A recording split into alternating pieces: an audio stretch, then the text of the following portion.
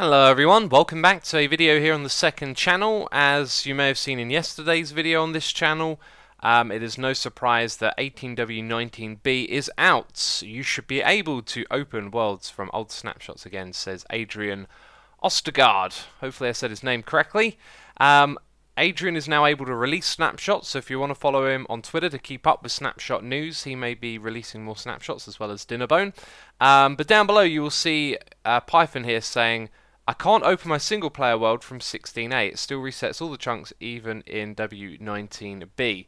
Um, if we head over to the Minecraft website, you'll see that the patch note from this update is that you can now open worlds from old snapshots and there are some bug fixes as well. So I did a quick test myself and it worked fine. I could open it. But over here on Twitter, there is a bit of a thread unfolding with people saying that it will even regenerate the chunks instead of just allowing you to play on them. So it deletes them and creates them again, which deletes the stuff in it.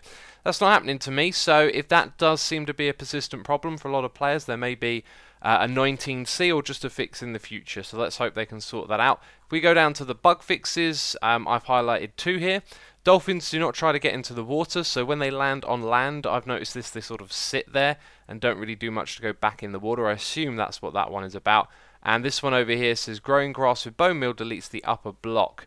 Don't know if they mean just general grass or sea grass, um, but I'm going to guess this is a bug that's come into the game because it's got a high uh, number here, so it must be during the snapshot development stage, and you can probably remove bedrock with it, which you wouldn't want to do. So um, yeah, that's been taken care of, and that's pretty much all there is to tell you. So uh, go and try it. See if it works for you. Leave a comment down below and let me know. Let's hope that it works for more people than it doesn't. And if it continues to not work for some people, we may see some more changes on this issue in the future. But anyway, that's it from me this video. Thanks for watching. I'll see you later. Bye bye.